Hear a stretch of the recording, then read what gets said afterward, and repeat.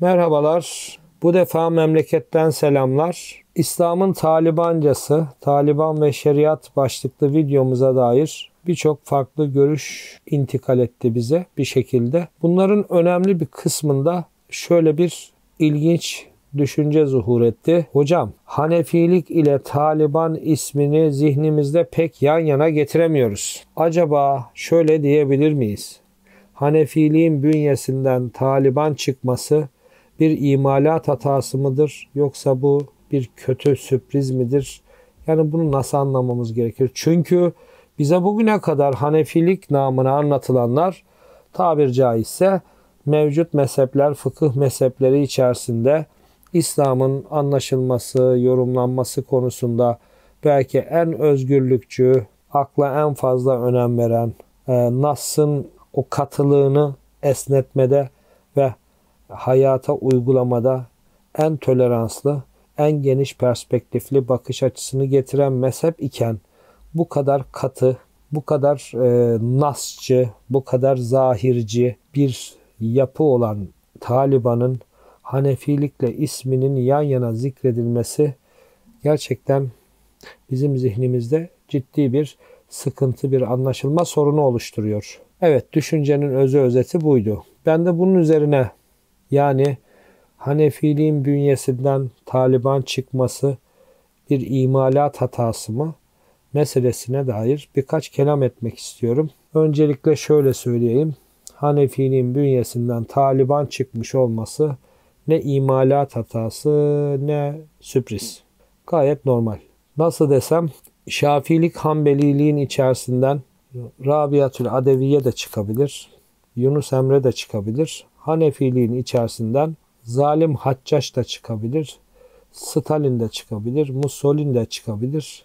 Taliban da çıkabilir. Yani buralardaki örneklemlerim yani metafor olduğunu anlayabiliyorsunuz. Demem o ki bir mezhep ve ekol sistematiği tek başına bir yapıyı, bir düşünceyi, bir hareketi belirleyen faktör değildir. Din nasıl Kur'an, İslam yorumlandığında Haccacı da çıkarmış, Rabiatül Adeviye'yi de çıkarmış, Muhiddin İbni Arabi'yi de çıkarmış, onun karşısında en zahirci Davud-u Zahiri'yi de çıkarmış ise bugün de e, dün de Hanefiliğin içerisinde de son derece özgürlükçü, reye, akla önem veren figürler de çıkmış. Taliban gibi kas katı hareketler ve yapılar da çıkmıştır. Öncelikle Taliban'ın dini düşünce karakteristiğini belirleyen şeyin Hanefilik olmadığını söylemek durumundayım.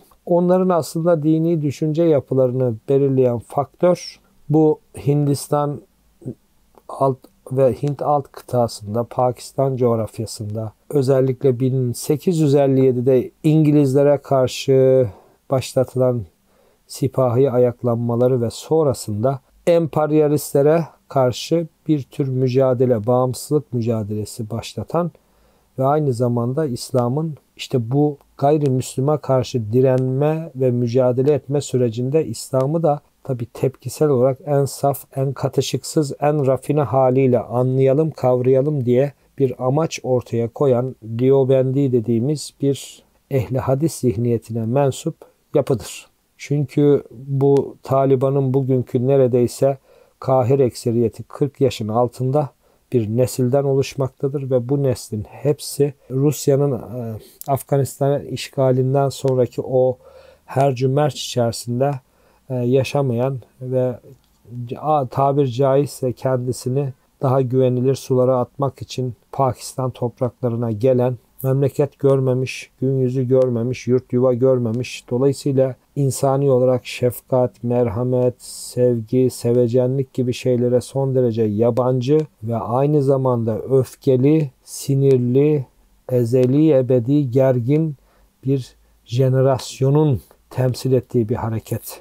Dolayısıyla Taliban'ın İslam'ı anlama ve yorumlamadaki sertliğini ve bugünkü zahirciliğini, bugünkü esnemez yapısının dominant faktörleri dini düşünce altyapısı olarak Diyobendi ve ehli hadis zihniyetidir. Ama karakterlerine, mizaçlarına yansıyan sertlik ise o öfkeli nesil olarak bir tür toplama kampları gibi yerlerde yetişmeleri e, dolayısıyla sürekli yıllarca öfke biriktirmeleridir. Yani onların psikolojileridir onları bu kadar sert yapan. Aslında e, bir tür nihilizmin temsilcileri diyebilirim yani. E, her ne kadar çok ulvi, ne yaptığını bilen, büyük bir davanın peşinde koşuyorlar gibi görünse de e, bana göre Taliban nesli büyük ölçüde kayıp, ziyan olmuş, öfkeyle yoğrulmuş nihilist bir nesildir. Hanefilik dedim tek başına bir dini düşünceyi toleranslı, özgürlükçü yapmaya kifayet etmez. Kaldı ki Hanefilik var, Hanefilik var. Mesela bugünkü Türkiye toprakları tepeden tırnağa Hanefidir büyük ölçüde.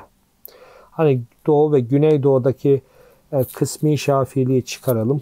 Özellikle Türkiye'nin ortası, kuzeyi, güneyi ve batısı e, kahir ekseriyetle Hanefidir. Fakat Türkiye'de bence bugün Hanefilik değil, Selefilik hakimdir. E, hem de bunun ilk dönem ehli hadis versiyonuyla hakimdir. İbn Teymiye versiyonuyla hakimdir. Hanbeli gelenek içerisinde berbehari zihniyetini yansıtan biçimiyle hakimdir. Vehhabilik şekliyle bile hakimdir. Öyle ki öyle garip tecelliler var ki mesela Hanefilik dediğinizde hop oturup hop kalkan o kadar e, yüksek perdeden hassasiyet e, sahibi olduğunu her fırsatta vurgulayan ışıkçıları ele alalım. Bunların her fırsatta sürekli aşağılayıcı bir dille, hakaretemiz bir dille hakkında konuştukları yapıların başında Vehhabilik gelir. Vehhabiliğin yaslandığı yer kendi iddialarına göre İbn Teymiye'dir. İbn Teymiye'nin de referans kaynakları erken dönem ehli hadis ekolüdür. Yani Ahmed İbni Hanbeller. Fakat bu ışıkçıların Seadeti Ebediye malum kitapları var ya meşhur. O kitabı açıp bakın. Orada hem Muhammed Abdülvehhab'a ağızlarına geleni söylerler ama zihniyet olarak kendilerini Hanefi sayarlar ama bal gibi Vahabi kılıklı anlayışlara mensuplardır. Söyleyelim bir tanesini. Hoparlörle ezan okumak caiz değildir. Buyur. Sana Hanefiyim diyen Hanefi kılıklı ve Habilik. Yani Hanefilik dediğinde İslam'la özdeş telakki eden bir yapının her fırsatta hakaret ettiği ve Habiliğin tepeden tırnağa zihniyetini yansıtan bir Hanefilik anlayışı. Hoparlörle ezan okumak caiz değildir. Buyurun size Hanefilik. Bunun şu fetvanın başka muadillerini de size söyleyebilirim. Bu nasıl Hanefilik dersiniz? Zihniyet olarak Taliban'dan hiçbir farkının olmadığını görürsünüz. Türkiye'de görece Müslümanlığı diğer İslam ülkelerinden görece yumuşak, esnek, toleranslı gösteren yapı aslında aslında e, nasıl desem Hanefilik falan değil. Aslında bir yönüyle Bektaşi kültürüdür.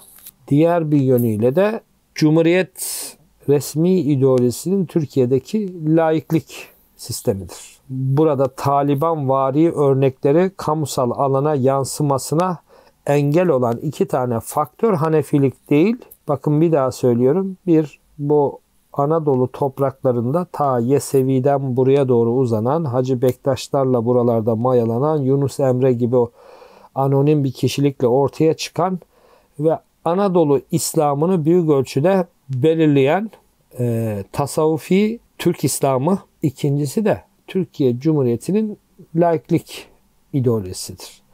Bu laikliğin bazen siyasal İslam'a karşı saldırılarıyla birlikte topyekun muhafazakar kesime bir takım kıyımlar yaptığını e, biliyoruz. Bu tepişmeleri biliyoruz.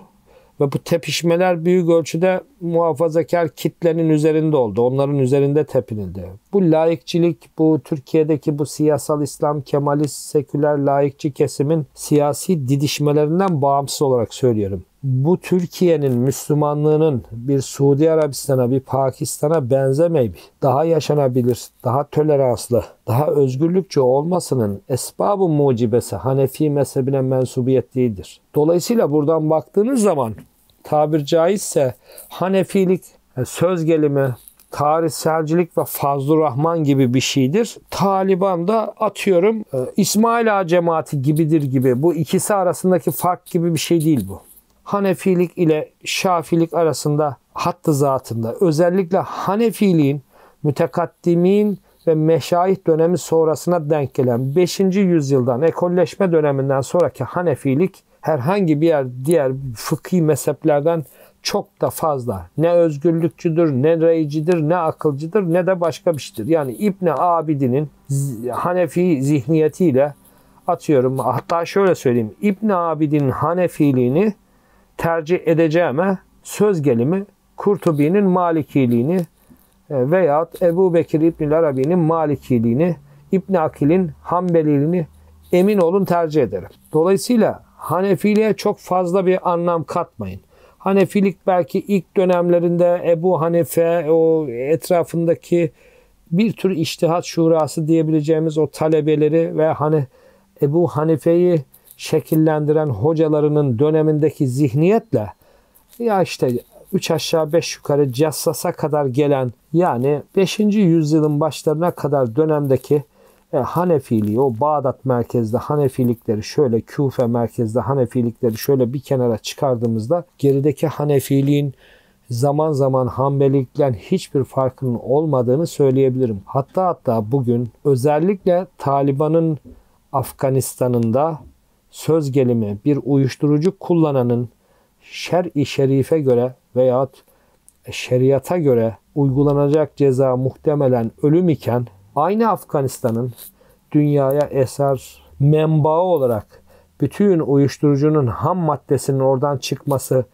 da bir bakıma Hanefiliğin Darül Harp fıkhının bir tezahürüdür. Bilirsiniz ya da bilmezseniz şimdi bilebilirsiniz.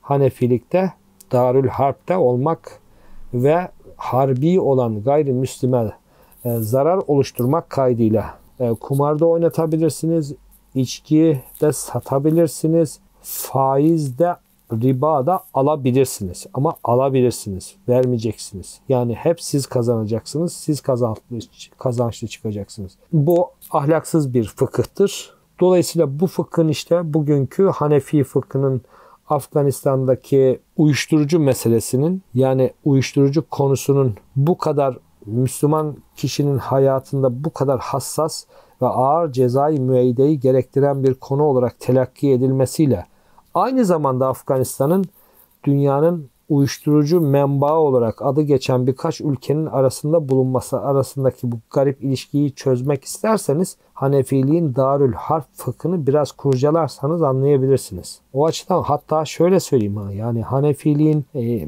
bu hile-i şer mantıkçılığı yani hile-i şer mantığına göre ürettiği fetvalardan bakın. Darül Harp'la ilgili diğer fetvalarından bakın. Oralarda baktığınızda mesela boşanma şakayla boşanmanın gerçekten boşanma sayılması gibi konulara baktığınızda kimi zaman akılla, kimi zaman da dini ahlaki hassasiyetle e, bağlarının çok gevşek ve sorunlu olduğunu görebilirsiniz. Kısacası Hanefilik ile Taliban yan yana geldiğinde zihnimize oturmuyor hocam bu bize kötü sürpriz gibi geliyor derseniz ben bunun sürpriz olmadığını, bal gibi Hanefilikten Taliban çıkabileceğini, e, bugün de aslında Türkiye'nin satında Hanefilik filan da bulunmadığını, sadece ismen bir Hanefiliğin olduğunu, bugünkü Türkiye'deki bir takım meşhur adı, ismi ön plana çıkan cemaatlerin zihniyet yapılarının tepeden tırnağa selefi olduklarını, kimi zaman bu selefiliğin IŞİDvari, kimi zaman Vehhabi, kimi zaman İbn Teymiye, kimi zaman Hanbeli Selefiliğine yakın düştüğünü, zihniyet olarak da Türk İslamı ve Müslümanlığı ile alakasının bulunmadığını ve bu Türk Müslümanlığının e, ki bundan kastım da işte Yesevi damarıyla gelen bizim dini edebiyatımıza da e, aynı zamanda Anadolu kültürüne de damgasını vuran biraz heterodoks tasavvuf yapıları içerisinde ifadesini bulan itikadi mezhep olarak da mürciyede karşılığını bulan yapının yerine daha Arapçı, daha Arabistik, daha lafızcı, daha şekilci, daha formalist, daha katı kuralcı, Taliban vari bir İslam anlayışının aslında Türkiye'de hüküm sürdüğünü, bunun da en yumuşak ifadeyle selefilik karakterli olduğunu söylemek durumundayım.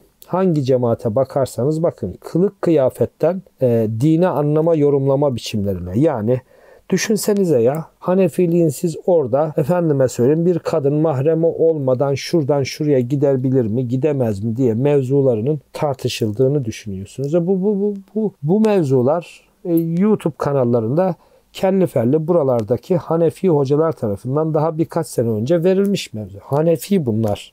Dolayısıyla Hanefi fıkıh kitaplarını açtığınızda Serahsi'nin Mebsut'unu, Kasani'nin Bedayüs Sanayisini yani oradaki verilen fıkhi fetvalarla söz gelimi İbni Kudame'nin Muni'sindeki veya bir Şafii e, fakihinin kitabındaki fetvalardan hemen hemen hiçbir farkı olduğunu, olmadığını, paradigmatik olarak da bir fark bulunmadığını, nasları anlama ve yorumlama konusunda özellikle Hanefiliğin 5. yüzyıldan sonra diğer mezheplerin de zaten boyunduruğu altına girdiğini söylemek durumundayız. Türkiye'de ise özellikle Şii Alevi karşıtlığıyla tanınan katı şeriatçılığıyla ön plana çıkan Nakşi Halidi damarın özellikle Türkiye'de o selefi karakterli İslam'a damgasını vurduğunu ve Türkiye'deki tasavvufi yapıları ve cemaatlerin de büyük ölçüde bu Nakşi Halidi kökenden geldiğini ve bu yapının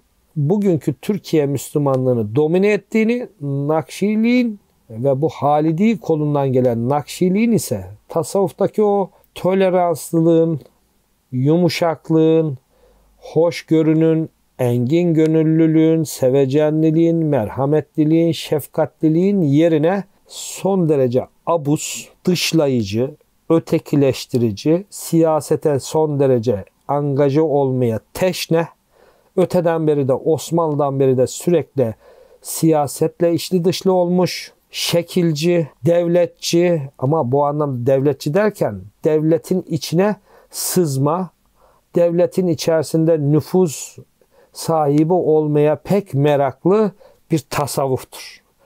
Yani yani Nakşilik, Halidilik bugün Türkiye'de Türkiye Müslümanlığını halk katında büyük ölçüde belirler ama yapısal olarak e, tasavvuf ve tarikatten ziyade holdingleşmeye yatkın daha çok ticari bir hareket, ticari bir firma gibi çalışan ama söylem düzeyinde katılık, söylem düzeyinde katı şeriatçılık söz konusu olduğunda da mangalda kül bırakmayan o tasavvufun bütün sevimliliğini, merhametliliğini al silip süpüren onun yerine şekille, kılıkla, kıyafetle, sarıkla, cübbeyle, bilmem neyle, onunla, bununla kendini sütreleyen, sevimsiz, abuz, dışlayıcı, ötekileştirici bir yapıdır. Bu yapının dışa yansıyan Müslümanlık tezahürü de selefi karakterlidir. Siz bu selefi karakterliliğin arkasına ehli hadis karakterli deyin. Nedir ehli hadis?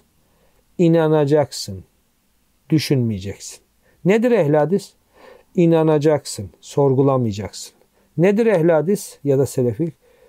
İnanacaksın, tartışmayacaksın. Nedir ehli hadis? İnanacaksın, araştırmayacaksın. Buyur. Peki araştırdım. Peki soruşturdum. Peki sorguladım ne oldu? Zındıksın, kafirsin, dinden çıkmışsın, sapkınsın, heretiksin, falansın, filansın. İşte buyurun Türkiye'deki cemaatlerin gerek kendi aralarındaki münakaşa diline ve üslubuna gerek ötekileştirdikleri ve düşman olarak belledikleri ve saldırdıkları insanlara, kitlelere yönelik e, saldırı diline baktığınızda bunları görürsünüz. İlginçtir Türkiye'deki en saldırgan, en hakaretamiz dili kullanan da gene adı üstünde tırnak içinde tasavvuf tarikat meşrepli yapılardır. En saldırganları da bunlardır. Sizin ışıkçılık dediğiniz yapının kutsal kitap gibi okudukları bugün Türkiye gazetesinde profesör ünvanı ile sağda solda işi gücü sürekli sağa sola sataşmaktan, birilerini birilerine jurnallemekten ibaret olan tiplerin yaptıkları iş bakarsanız onları besleyen kaynaklara sürekli olarak son dönemin İslam alimlerine, düşünürlerine, mütefekkirlerine, geçmişteki bir takım mezhep büyüklerine veya İslam alemlerine sürekli saldıran, söven, hakaret eden bir dili kullandıklarını görürsünüz. Kendilerini de oturup kalkıp Hanefi telakki ederler ama yeri gelir, bakın çelişkiye bakın, yeri gelir hoparlörle ezan okumak caiz değildir diyecek kadar saf İslam'a sahiplenirler. Ama öbür taraftan on binlerce, yüz binlerce kişinin parasını gömer giderler. Öbür taraftan televizyonlarında kanalın bir tarafında bir saatinde prime time'ında çalgılı çengili kadınlı sazlı sözlü programlar dans sözlü gösterilir. Ama bir taraftan bir kadın İstanbul'dan Kocaeli'ye kadar namahremi olmadan gidebilir mi? Gidemez mi? Bunu tartışırlar. Alın size Hanefilik. Türkiye'deki Hanefilik bu. Türkiye'de eğer az çok nefes alınabilir bir İslam varsa inanın bunun altyapısı heterodoks İslam'dır. Ortodoks Sünni İslam değildir. İkincisi de Türkiye'nin şu andaki mevcut laiklik sisteminin imkan verdiği nefes alma gözenekleridir. Hanefilik, manefilik değildir. Hanefilik öyle mucizevi bir şey değildir. Ben aynı şeyi maturidilik için de düşünüyorum operasyonel olarak bu aralarda sürekli bu sıralarda böyle Türkiye'de işte zaman zaman bu maturilik güzellemeleri sık sık çıkar. Ben maturidiliğin de öyle çok mucizevi bir şey gibi sunulmasının siyasi bir operasyon olarak, siyasi bir proje olarak ikide bir dillendirildiğini ve önümüze gerçekten serildiğinde daha fare doğurdu sözünün tam da karşılığı olan bir içerik çıkacağını size buradan temin ederim, garanti verebilirim. Kısacası Taliban Hanefiydi, Taliban Şafi'ydi. Hiçbir fark yok. Hanefilikten Taliban çıkar mı? Bal gibi çıkar. Şafilikten de söz gelimi Yunus Emre de çıkar. Hanefilikten de bal gibi Taliban da çıkar. Haccaş da çıkar. Stalin de çıkar. Hitler de çıkar. Bizatihi İslam'dan çıkmadı mı ki? O açıdan en başta bir daha söyledim, tekrar edeyim. Kaldı ki bu Taliban denen yapının bu sertliğini biçimlendiren faktör mezhep faktöründen ziyade travmatik hayat geçmişleri ve e, öfkeli psikolojileri ve tabir caizse daha kendilerini bilmeden içine girdikleri ve çok sıkı ve sert bir eğitim öğretim sürecinden geçirdikleri bu Diyobendi medreseleridir. Hanefilik bunların e, dini düşünce karakteristiklerini domine eden bir faktör değildir. Hanefilik tek başına bir Müslümanın kimliğini, kişiliğini, toleranslı, özgürlükçü veyahut bunun tam aksi yönde evirip çevrilebilecek bir kudrete sahip bir içeriğe de sahip değildir. Bir kez daha son olarak tekrar edeyim. 5. yüzyıldan yani mütekaddimin ve meşayih döneminin ikinci evresinden sonraki 5. yüzyıldan sonra ekolleşmiş Hanefiliğin zaten diğer fıkıh mezheplerinden çok da farkı falan filan da yoktur. Sonuç Hanefiliğin Taliban'la yan yana gelmesi, bu iki ismin yan yana zikredilmesi ne imalat hatasıdır ne de sürprizdir. Hoşçakalın efendim.